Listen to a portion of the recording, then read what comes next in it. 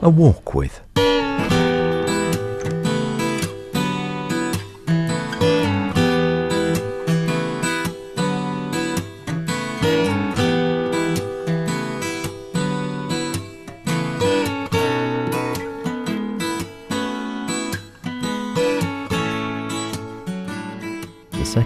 Part of a walk around the Golden Triangle in Douglas with Frank Cowin. So this sort of south side has, has it always been a sort of a, a, a working area as, as it is now in many ways? Well, it started to get developed. I mean, there was very little in the way of roadway along here at all. That was one of the things, and it was only to provide um, access to things like those that the roadway started. And you really threw into the sort of 1790s before the roadway at the top end of, of the harbour really came to anything, and the land there was developed. Um, that partly came out of a, an earlier bridge across the harbour, because so much of the development in places that have got rivers coming out to harbours ties up with bridges. But um, that was a bit further up. But at this end, opposite to us, of course, we had the market area, which again is, you know, is all part of the, the sort of town centre, and at the back edge of that, really almost cornering onto the Douglas Hotel, was the downtown church, um, Old St Matthew's. And when all the redevelopment went on, of course, that was one of the buildings that was demolished, and we had the, the present building erected where it is now on the corner of Ridgeway Street and designed by one of the English Church Commissioner architects, John Loughborough Pearson, who also designed the new church at Braddan. And his big work, of course, in England was, was Truro Cathedral.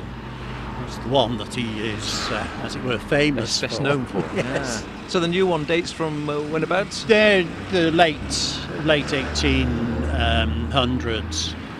Um, that's the sort of era that when he was operating 1875 or 76, I think, in Braddan. And then this is a bit later. In fact, he, his son was involved in the completion works here. But the old St Matthews really was the heart of that golden triangle that we were talking about because so many of the people who lived down here were had their children christened there and so on. And one of those that did was Bligh because okay most people on the island know the story that Bligh is was married at Onchan but it tends to disappear after that but in fact he lived down here in Douglas on the harbour side with his new wife and their first child was born here and was baptised in St Matthew's. So that was how come then you've got the three main protagonists here with him with Peter Heywood or Peter Heywood's family and round the corner in Fort Street, the Christian family. The mother, the sister, the brother, well, two brothers over a period of uh, Fletcher Christian living there. Uh, one of the brothers died there, the other died out on the Africa coast. So, um, and the mother and the sister both died there. And they're buried at, at Braddan, although unfortunately we don't know exactly where. Oh, seems rather a shame.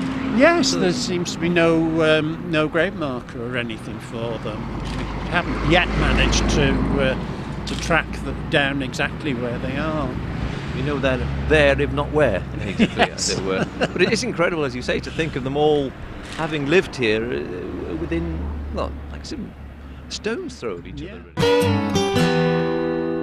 having all the, the business with uh, Trafalgar and so on, um, at a period within the same time span, the um, the Quilliam household decamped from where he was born in, in Marown, up at Lower Ballakelly, and they were living down here. and the youngest of, of John Quilliam's siblings was christened in um, St Matthew's. And so was the other Manx officer at um, Trafalgar. He was actually christened there himself. That was uh, Robert Benjamin Young, who was a sort of fellow lieutenant. He was the same substantive rank as Quilliam, but was actually in charge of, of one of the, well, it was the smallest ship in the British fleet. Um, and he had been born here on the harbour side in Douglas. So there'd be a real maritime community, I suppose, based right the way around there, around the harbour. Oh yes, and I think you know we we've been hearing too about the sort of 68, 69 Manxmen. At least a third of those, probably more, were actually born in this bottom end of Douglas. So th- there's a, a, fair input. And then if you, you go back further in time, you've got people like um, Admiral Dundas, who was here as a captain, again on one of the small ships um, in and out of Douglas. He had him, a house for himself out at what then was Strangford, the Strang, yep. Union Mills. Um, but he moved from there because the house was damaged. So his daughter tells us in her biography, was damaged by an earthquake. And they moved to a house down here again in the Golden Triangle. And he went on to uh, to be a, an admiral. She went on to be one of the great female explorers of the 19th century and was involved, well, yeah, 19th century, and was involved with people like Lord Cochrane and, and others. She spent time out in India, she spent time in South America. Um, a great lady, and one that, that has largely skipped the record in the Isle of Man. it is incredible how some people, like you say, some people are so well known, and others uh, somehow or other seem to be bypassed by the history books. Well, I think it, she's not entirely bypassed by the history books because she married. Uh, it's very much under her married name that she was recognised an explorer. She became. She was Maria Dundas. She became Maria Graham. Um, and then she went after her husband died out in Chile um, after she came home, she married um, Lord Augustus, or Sir Augustus Callcott, the, the artist. And she was a good artist in her own right, and she did work for Kew and all sorts of other things, but she also wrote a little um, children's history book, Arthur, Little Arthur's Britain, and, and um, that was, was sort of the Victorian bestseller for, for children's history. So she was a remarkable lady. Talented lady. Yeah, but one who slipped the Manx record. Admittedly, she wasn't here for very long. And that's much the same, of course, we were saying about um, Robert Young, in a sense, senior to Quilliam. And yet it's only this year that it's it started, you know, to, to come to the fore that he was there at all because there was research being done on, yes, on yes. the captains at Trafalgar and his name popped up. Um, largely, I think, because after he'd been at sea and came ashore, he didn't come back to the island. Quilliam, of course, came back and was very much involved in Manx affairs, and I think that's probably where the difference lies and I'm fascinated by the little idea, that notion of the earthquake out at uh, out at the Strang. Uh, yeah, that must have been a fairly rare occurrence, one would think. Well, no. In apparently in the 1700s, the the island had quite a few earthquakes. Um, Bishop Wilson's son, when he's writing about the island, talks about the earthquakes out at, um, at Bishop's Court area and there are records of Bishop's Court itself and of um, the church at Braddan, Old Kirk Braddon Church, being both being damaged um, by earthquakes. So they must have been rel- relatively severe, you would think. Well, absolutely, because I must admit, I certainly can remember one or two in my brief lifespan, and uh, one certainly enough to sort of rattle the cupboard doors in my bedroom, but that was pretty much it, and it only lasted a few seconds one morning. But uh, when you're talking about structural damage as they, as they were, and Mm. maybe a, a home actually being ruined, you're, you're talking about something with considerable more strength than one of them. Yes, that, that one that you remember, uh, I remember. Uh, we thought the dog had got loose in the attic or something. we weren't quite sure what it was. No, exactly. Well, you, don't, you don't expect it on the Isle of Man, do you? no. Uh, interestingly, too, though, um, Maria Graham, as she was then, when she was out in um, in Chile, uh, wrote what really must be one of the best accounts of, of an earthquake. She was in a very severe one there, um, lots of buildings destroyed, and she um, describes exactly how the earth is moving. And she also describes going back into the house afterwards and how all the furniture had been rearranged. In, this is in part of the building which hadn't been demolished, but it had all been shaken so that it was all now orientated on a specific bearing. And she got her compass and measured where it was. And a quick wander a bit further down, a little bit quieter down here because we've just come off the road a little bit into one of the, well, into one of the new parking areas which have been constructed in recent years. Yeah, constructed over the uh, the top of the river, in fact. So creating, in a sense, a new bridge, but a rather long one, and not for traffic, but for, for getting cars off the road. But um, in a sense, interestingly enough, it's it's more or less where there was a bridge across the harbour. The original bridge uh, over the, the river had been further up than the, the present um, stone bridge, as it's often referred to, um, much nearer to the to the nunnery, and that had been replaced by the stone bridge, um, which in itself was replaced in the 1930s, um, and now, of course, it's had a lot more work done to it. But in the intervening period, in the 1700s, there was a move when they were going to replace the bridge, and they decided to put it much further down the harbour, and in fact, more or less in line with what was then the main road coming into the town. And that road is still marked by the lane at the back of Ridgeway Street, the inland side of Ridgeway Street, running right on up through what used to be uh, Police Station Hill and, and on up Westmoreland Road right the way through. So that was the main route, and, and the bridge came more or less straight across the harbour at that point. And it was the construction of that bridge which led to the development of the inner part of the sort of South Quay area from there inland. It was all part of the nunnery estate.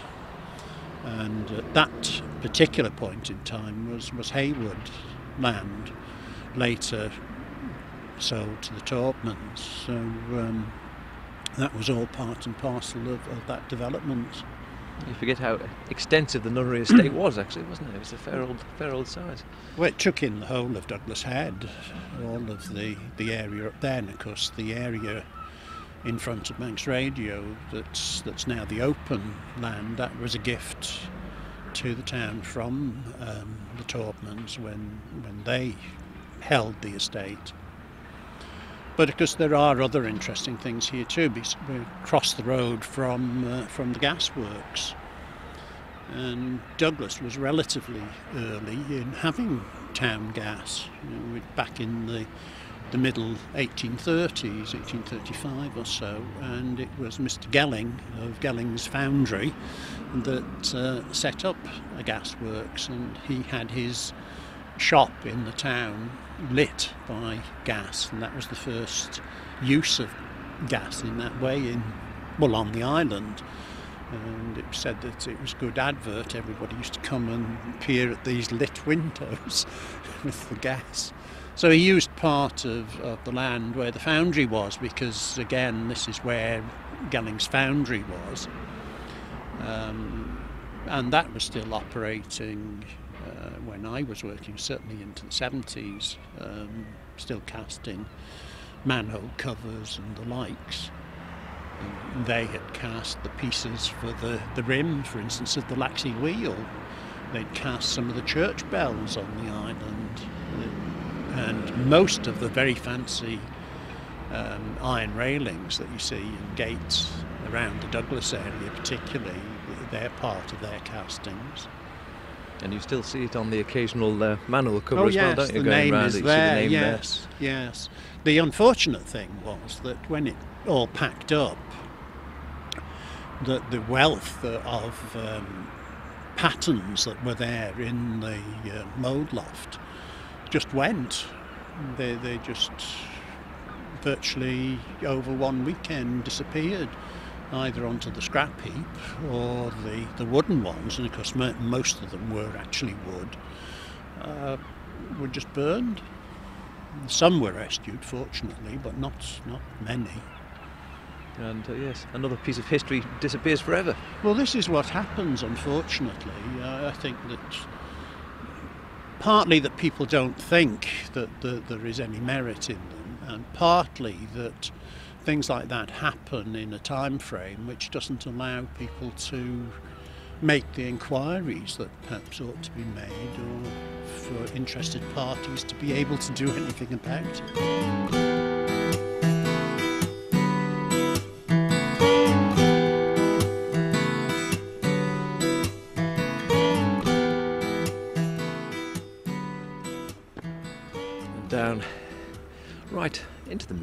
Right by Douglas Bay Yacht Club, where they have their uh, rather splendid veranda outside the building, and standing next to. Well, what are these called? We call them stanchions, or I don't know. No, no, no. These are are um, the last remaining few uh, of uh, what used to be all the way around the harbour. These are, are rubbing strakes, um, vertical strakes, which were used to hold the, the ships off the, the quayside. Um, if you think particularly of, of a thing like a paddle boat with its projecting paddle box, in alongside the, the harbour at high tide. The box is hanging over the, the edge, and tide goes out, and that sits down and catches on the edge. And if nothing is done quickly enough about it, it'll just flip the, the boat. And the same could happen with all sorts of other boats. I mean, even the more recent um, Manx boats had a, a rubbing strake down the side and at very high tides that could lift up over the edge. And again if it caught it it would have a very bad effect on the boat. So you had these these vertical strakes to uh, to hold them off to ensure that didn't happen but these now are the last remaining Last few ones there, yeah. This is one, one, two, three, four. You've got four or five of them, aren't there, Mm. left? Well, the town has changed out of all recognition, really.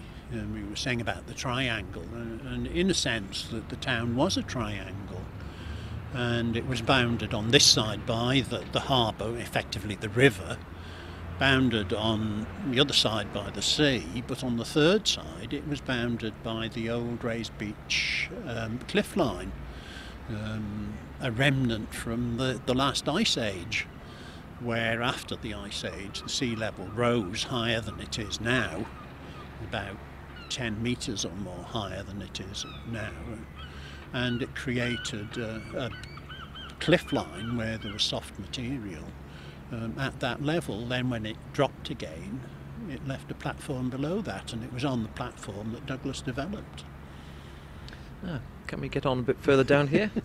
Looks like we can. Blessedly free of traffic just for a few moments. Well, we've got across quite safely. Managed to ne- negotiate the building works. Very busy it is too, and uh, well, I'm sure it'll look fine when it's finished. And down past Queen Street, I think it is. Yes. Yeah, Queen Street probably is, is one of the very few little bits of early street that are now surviving. It looks, yeah, it's still uh, this corner here really looks old. Yeah, just the corner Mm. of it, it, it still is, yes. You've got the little building, the recent building on the corner, and of course their warehouse behind, and that in itself is now becoming one of the few of the old warehouses that are left, which there were quite a number scattered around. Um, we had the bonded warehouse, the customs bonded house, which is gone, more or less where the downtown police station is now. And on the other side, you had the big Corlett Sons and Cowley one, which went. Um, again, many of those designed in the sort of 1820s, 30 time. Um, by the first of the sort of named local architects, a chap called John Taggart, who uh, was responsible for a, a, fair amount of work around the place. And um, he obviously had a, a, a, line in building these big warehouses. He did a good job too, really. Well, they, they've lasted fairly lasted well. a long time. Yes. Well, this one has a sort of interesting bow in the back wall. yes, it does when you look at it, but it's been standing for a wee while yet, and I dare Oh, say it's it's not going to go anywhere for the next year or two. No, we hope it's uh, it's going to stay there for a, a bit longer anyway. But um, in coming round the top end of the, of the harbour, of course, we passed the roadways now leading up to uh, Tesco and the like. But because that was the Quiggins timber yard and um, part of the building structure up there along the sides of the yard were the rope walks where rope was made. It was actually made, pulled out and Yes. sort of twisted, as it were. Yes, yes. I uh, was interested. I was away just a few weeks ago and um, I saw the last remaining uh, working rope walk in uh, the British Isles, at least I, I think it is the last one, um, down at the, the Royal Docks at Chatham. And it was interesting to see the, the displays of how the rope was made down there with the big machines. There, the Chatham one was actually the longest um, rope walk anyway, because it made all the ropes for the for the British Navy, for the, the ships that the people we've been talking about were on. actually on, yeah. Yeah.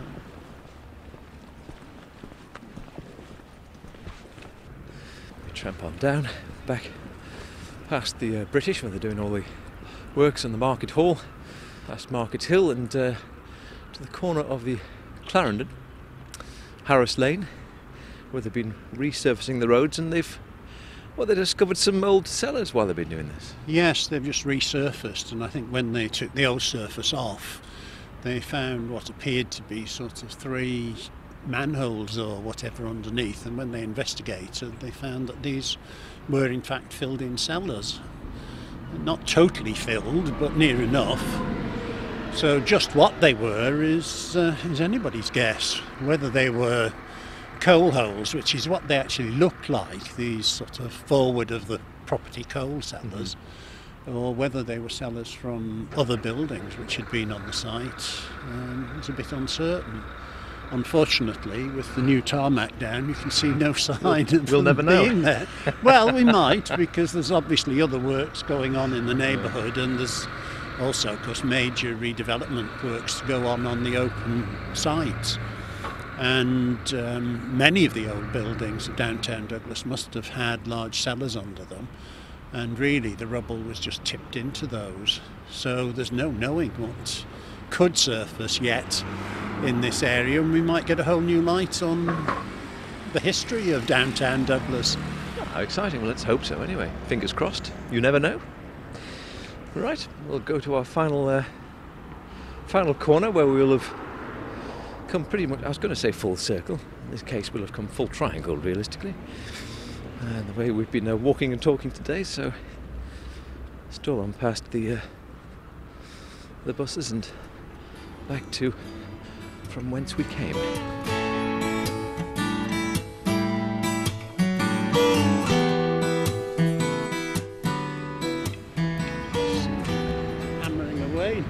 Easy. beavering away on the corner. It's certainly uh, not been short of atmospherics, as we say in the radio trade, on this little romp today. And here we are, as I said, back from whence we came, back outside the sea terminal again. At uh, well, the end of, as I said, the end of the triangle rather than the end of the circle. Yes, yes, it's been the triangle, and we're out now, of course, uh, in what originally would have been the sea. And uh, I suppose, in that sense, aptly enough, because it was the uh, the old triangle arcade that stood on this site immediately before the uh, the sea terminal. A rather distinctive building with its fairly distinctive clock tower. I re- have cause to remember it well because um, in the preparation for the building of the sea terminal, uh, one uh, Stan Basnett and myself uh, had to do the survey down here. And as you can rem- imagine, it's not the easiest of places to survey with No. traffic, even at that time. So um, we did our survey work in the early hours of the morning. And once the traffic started to build up for the nine o'clock boat, we packed up, went home, had breakfast, and then went back to work and draw up what we'd done. So, um, no, I have uh, fond memories of this area and, and of the construction of, of the sea terminal building itself. I was going to say the actual. Uh, I always call it lemon squeeze, which indeed is what it is. But uh, the current inhabitant of this site uh, is it a good good inhabitant for you? Well, it got christened uh, the Lem Squeezer early on because it's altered considerably, even in itself, over the years. Um, within the, the big waiting hall, of course, we've had all the bits chopped off for the officers.